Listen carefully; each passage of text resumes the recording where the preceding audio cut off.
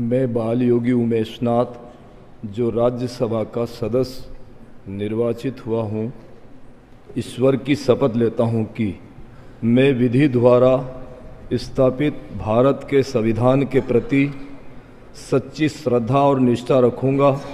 मैं भारत की प्रभुता और अखंडता अक्षुण रखूँगा तथा जिस पद को मैं ग्रहण करने वाला हूँ, उसके कर्तव्यों का श्रद्धापूर्वक निर्वहन करूँगा।